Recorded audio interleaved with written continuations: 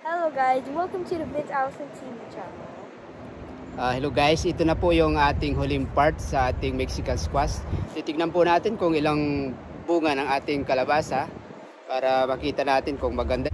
You know about me? Guys, ito na ang ating bunga ng Mexican squash. Bali, ah, mahigit kulang sa tatlong buwan, 84 days na siya. Tingnan po natin yung mga bunga. Ayan, titignan po that. natin. Bakit? You're praying mantis egg. Ayan. There's an bunga egg. dito. Ito yung inoobserbahan po natin na sabi nila pag magkasunod daw yung bunga, hindi baga hindi tutuloy. Ayan o, magkasunod sa isang ano, sa isang ano ba yan, baging ba? Ito yung bunga niya. Meron dito.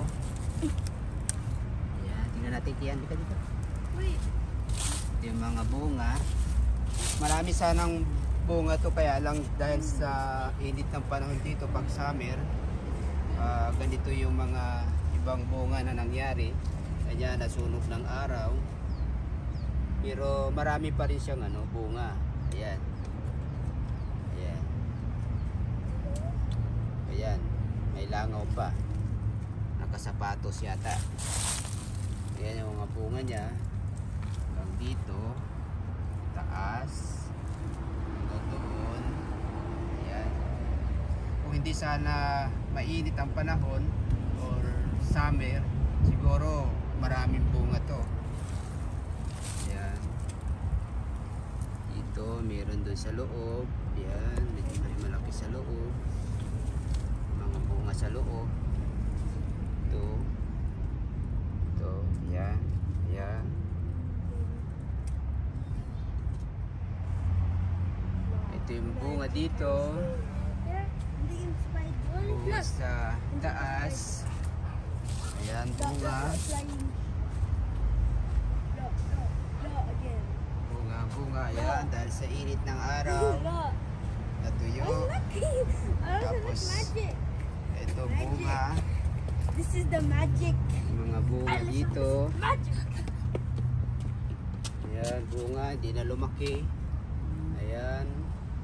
Bunga dyan, bunga dito. Ayan. Tapos, Ayan.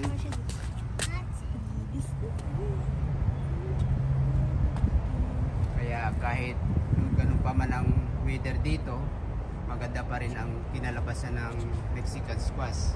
Kahit pa paano, meron tayong mga gulay. Ayan, dito, ayan ayan, dito. Meron na tayong mga gulay. Ayan. Diba? Kaya kahit pa paano maganda pa rin na nagtatanim tayo ng gulay. Meron na tayong gulay na kalabasa. Pwede naman tong you outside?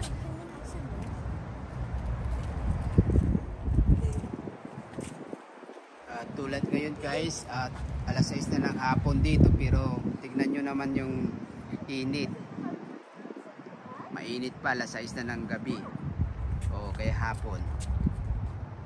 Kaya yung mga halaman dito pagdating ng tanghali talagang nalalantay sabi nilang lantang gulay. Talagang mabuti na at mabuti pa rin kasi ito ang nangyari sa ating Mexican squash. Dahil siguro medyo sanay ito sa init kaya marami rin siyang bunga. Hindi na sayang yung pagod natin. Hindi na sayang yung paghihintay natin ng halos tatlong buwan ayan yung mga bunga niya kita naman natin. Kaya guys ah, ang sarap magtanim ng gulay. Ang ganda ng pakiramdam. Lalo na pag nakikita natin na meron tayong maaani meron tayong mabibitas meron tayong magugulay. Kaya kung sa atin marami tayong makanting luti na pwedeng pagtamnan try natin magtanim ng mga gulay tingnan nito sa amin oh.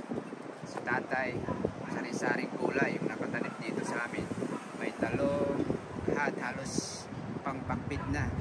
Sa akin tinry ko tong kalabasa. Kaya maganda naman ang resulta. Kaya try nating magtanim. Hindi sayang yung pagod. Makakatipid pa tayo. Kaya natin ng gulay, yung pakura natin na pakante. Kaya guys, maraming salamat. Ito yung huling part ng ating Mexican squash. Maraming salamat sa inyo. Guys, maraming salamat sa inyo. Ah. Yan. Maraming salamat.